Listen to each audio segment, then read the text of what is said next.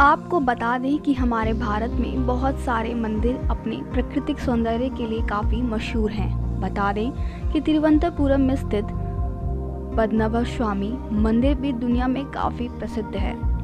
दरअसल दुनिया के कुछ सबसे रहस्यमय जगहों में इसकी गिनती होती है। यहाँ देश विदेश से लोग दर्शन करने के लिए आते हैं और सबसे दिलचस्प बात तो ये है कि भगवान विष्णु को समर्पित इस मंदिर में सिर्फ़ हिंदू धर्म में आस्था रखने वाले ही जा सकते हैं। और यहाँ प्रवेश करने के लिए एक खास तरह के वस्त्र को धारण करना बहुत ही ज़रूरी होता है। इसके अलावा अपार संपत्ति के चलते और इस मंदिर के दरवाजे को सुप्रीम कोर्ट के समर्थन से खोला जा चुका है, जिसमें इसके छह दरवाजे को खोलकर एक लाख बत्तीस हज़ार करोड़ की संपत्ति मिल चुकी है। लेकिन सातवें द्वार को अभी भी खोला नहीं जा सका। मंदिर के गर्भगृह में भगवान विष्णु की एक भव्य मूर्ति विराजमान है और जिस कारण से इसकी देश के वैष्णव मंदिरों में खास गिनती होती है। पर विश्व का सबसे अमीर ये मंदिर अपने आप में ही काफ़ी रहस्यमय भी है। बता दें कि यहाँ एक दरवाज़ा है जिसे माना जाता है कि कोई सिद्ध पुरुष ही खोल सकता है, लेकिन आज तक इसे कोई नहीं खोल सका है। वहीं ऐसी मान्यता है कि दरवाज़ा भगवान तक जाता है, मगर इसका रहस्य आज तक उजागर नहीं हो पाया है। ऐसा कहा जाता है कि इस मंदिर के खजाने में दो लाख करोड़ का सोना है, पर इतिहासकारों के अनुसार असल में इसकी अनुमति राशि इससे कहीं दस गुना ज़्यादा होगी। इस खजाने में सोने, चांदी के महँगे चैन, हीरा, पन्ना, रूबी, दूसरे कीमती पत्थर, सोने की मूर्तियाँ, रूबी जैसी कई बेशकीमती चीज़ें हैं।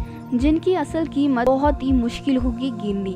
आपको बता दें, ऐसी मान्यता है कि 18वीं सदी में द्रवकोण के राजाओं ने मंदिर में पद्मनाभ स्वामी की मूर्ति की स्थापना करवाई थी। जबकि इतिहासकारों की माने तो इसकी कहीं कोई ठोस जानकारी उपलब्ध नहीं है।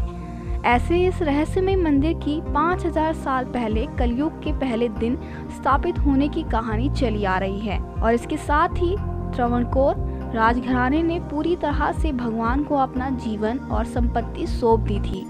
हालाँकि फ़िलहाल मंदिर की देखरेख का कार्य शाही परिवार के अधीन एक प्राइवेट ट्रस्ट संभाल रहा है।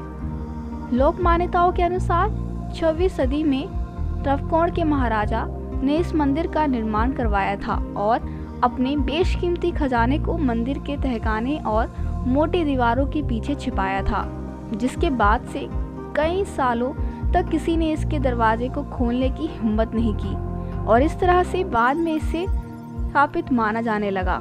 कथाओं के अनुसार एक बार खजाने की खोज करते हुए किसी ने सातवें दरवाजे को खोलने की कोशिश की, लेकिन कहते हैं कि जहरीले सांपों के काटने से सबकी मौत हो गई थी और ऐसी मान्यता है कि तहखाना भी, जो इस मंदिर का सातवां द्वार भी कहलाता है, उसे सिर्फ़ कुछ मंत्रों के उच्चारण से ही खोला जा सकता है। किसी भी आधुनिक तकनीक या दूसरे मानव प्रयासों से खोलने की कोशिश की, दिशा में मंदिर नष्ट हो सकता है, जिससे भारी प्रलय तक आ सकता है। दरअसल, ये दरवाज़ा स्टील का बना है, इस पर दो सांप बने हुए हैं, जो इस सवार की रक्षा करते हैं। इसमें कोई नट बोल्ट या कब्जा नहीं है। बता दें कि ऐसा कहा जाता है कि इस दरवाजे को नाग बंधम या नाग बसम मंत्रों का प्रयोग कर बंद किया गया है। इसलिए उतनी सिद्धियों के साथ ही इसे केवल गुरान मंत्र का स्पष्ट और सटीक मंत्रोच्चार के करके ही खोला जा सकता है। अगर इसमें कोई गलती हो गई तो मृत्यु निश्चित मानी जाती है।